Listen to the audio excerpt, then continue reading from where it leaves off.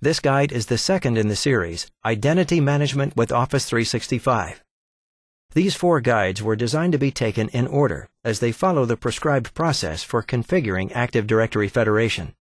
In this guide, you'll see how to enable single sign-on access in your organization using Active Directory Federation services. To navigate this guide, either click the prompts indicated on the screen or use your You'll begin from the Server Manager dashboard on your organization's domain controller. The first task is to create an internal DNS host record for Active Directory Federation services. Click Tools and then follow the prompts on the screen to see how. Click DNS to navigate to DNS Manager on the server. Follow the prompts on the screen to open the Forward Lookup Zones folder.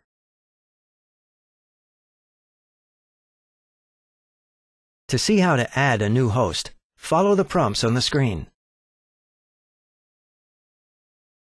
Enter FS in the name field, and then enter the IP address of the server where you will install Active Directory Federation services. Follow the prompts on the screen to complete the task. As you can see, finally, close DNS Manager.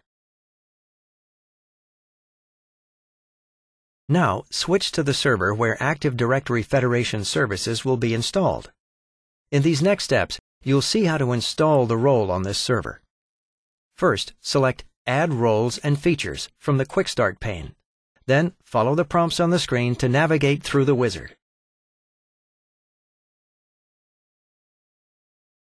Ensure that the first option, Role-Based or Feature-Based Installation, is selected ensure the desired server is selected.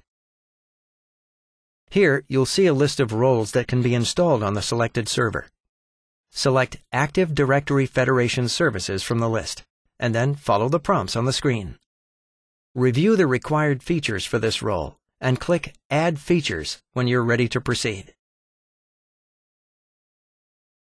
Features that are required for the ADFS role have already been selected. Ensure that Federation Service is selected, and then click Next. Here, you can review the role services that will be installed for the web server role. For the purposes of this guide, you'll keep the default settings. To complete this task, click Install. Once installation is complete, close the wizard. Next, you'll see how to import the certificate you created in the previous guide to the local machine certificate store, and then add it to the browser's sign-in website for ADFS. To begin, open Windows Explorer, and then follow the prompts on the screen.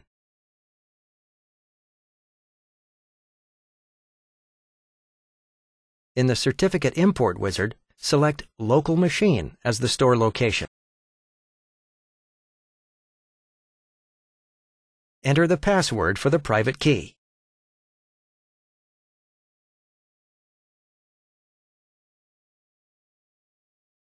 Review the settings specified and finish. Close Windows Explorer and then follow the prompts to continue. Next, you'll assign the certificate to the default website. To do so, navigate to Internet Information Services IIS Manager. In the navigation pane, expand the server listing and navigate to Default Website.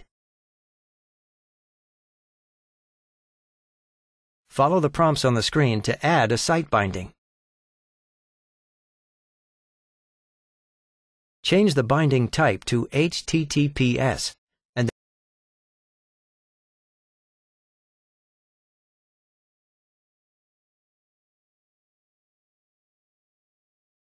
When finished, close the Site Bindings window and navigate back to the Server Manager dashboard. Next, you'll configure Active Directory Federation services. To begin, navigate to ADFS Management. Open the ADFS Federation Server Configuration Wizard. Verify that Create a new Federation service is selected, and then click Next. For high availability scenarios, you may choose to create a Federation server farm, which would allow your Federation to continue in the event of a single ADFS system failure. For the purposes of this guide, you'll select Standalone Federation Server. Follow the prompts on the screen to complete the wizard.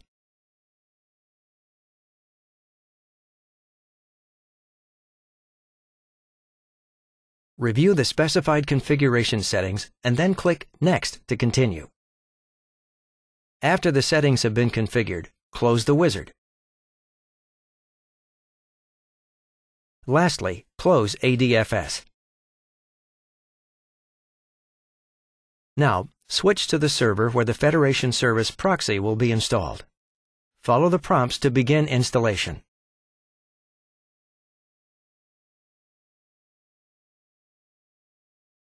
Ensure that role-based or feature-based installation is selected.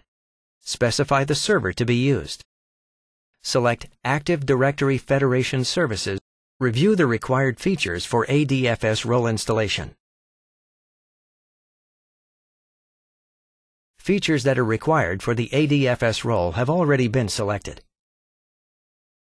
Deselect the Federation Service role and then select the Federation Service Proxy role. The Federation Service Proxy collects user credentials from browser clients and web applications, and then forwards those credentials to the Federation Service on their behalf.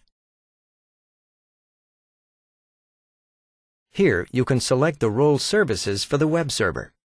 For the purposes of this guide, you'll use the default settings. To complete this task, click Install. Once installation is complete, close the wizard. Next, you'll import the certificate you created in the previous guide to the browser sign-in website for the Federation Service Proxy. To begin, open Windows Explorer, and then follow the prompts to continue.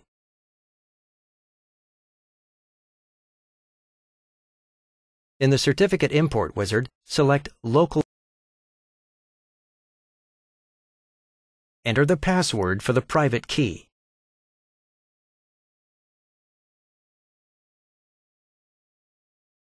Now, review the specified settings, finish the import, and close Windows Explorer.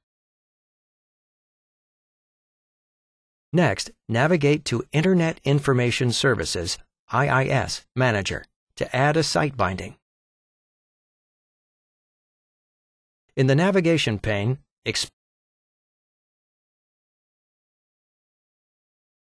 Here, you'll add a site binding. Just change the binding type to H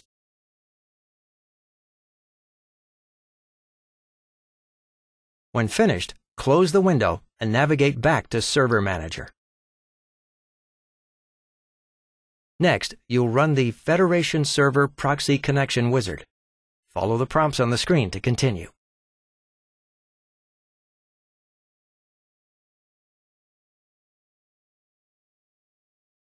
Before proceeding with the configuration, it's recommended that you test the connection.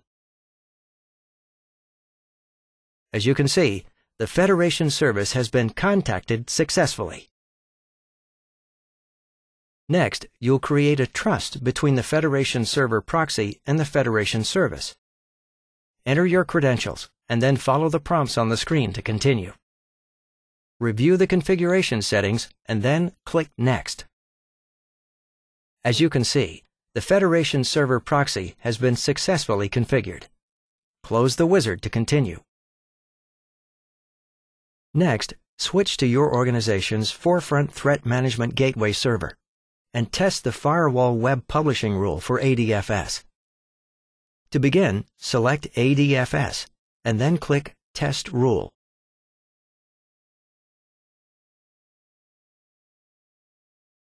The tests completed successfully, confirming the Firewall Web Publishing rule. This guide Installing and configuring Active Directory Federation services is now complete.